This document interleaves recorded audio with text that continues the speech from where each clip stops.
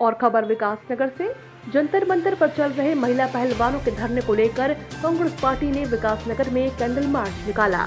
संवाददाता अनिल दुबे की रिपोर्ट। जंतर मंतर दिल्ली पर चल रहे महिला पहलवानों व अन्य पहलवानों के धरने व आरोपी कुश्ती संघ के अध्यक्ष पर कार्यवाही की मांग को लेकर सभासद शमी प्रकाश के नेतृत्व में कांग्रेस जनों ने कैंडल मार्च पहाड़ी गली चौक से मुख्य बाज़ार में निकाला। कांग्रेस के कार्यकर्ता, शहर कांग्रेस के पूर्व अध्यक्ष व वर्तमान सभासद सभी प्रकाश के नेतृत्व में पहाड़ी गली चौक पर एकत्र हुए।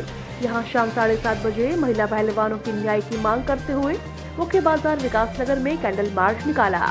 कैंडल मार्च पहाड़ी गली चौक से प्रारंभ होकर रामकुमार चौक तक गया व पहाड़ी गली चौक पर पहुंचकर आल समाज चौक से नारेबाजी करते हुए पहाड़ी गली चौक पर आकर समाप्त हुआ। कांग्रेस जनों को संबोधित करते हुए सभासद शमी प्रकाश ने कहा, जिन महिला पहलवानों ने भारत की कुश्ती को एक पहचान दी वो विश्व स्तर पर मेडल जीतकर भारत का मान बढ़ाया।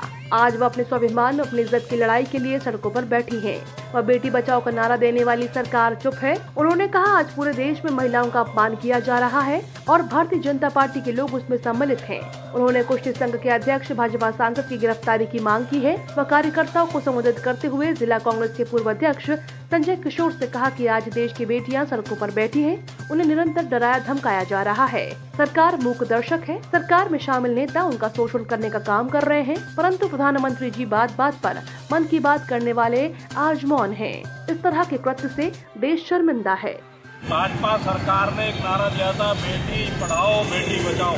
लेकिन आज ये सरकार उसके विपरीत दिशा में कार्य कर रही है इसके सांसद, जो महिलाओं का उत्पीड़न कर रहे हैं। आज उन्हें कोई पूछने वाला नहीं है। हमारे देश की बेटियाँ जो इस देश के लिए महिला पहलवान, हमारी जो गोल्ड मेडल लेकर आती हैं, उन्होंने जिस तरीके से आरोप और उसके पुख्ता सबूत सरकार के सामने रखे लेकिन और जंतर मंतर में लगभग एक महीने से धरने पर बैठे हुए हैं। लेकिन आज उनका दमन करने का काम सरकार कर रही है और उन्हें कोई विश्वास में लेकर काम नहीं किया जा रहा, अपराधियों के खिलाफ कार्रवाई नहीं हो रही।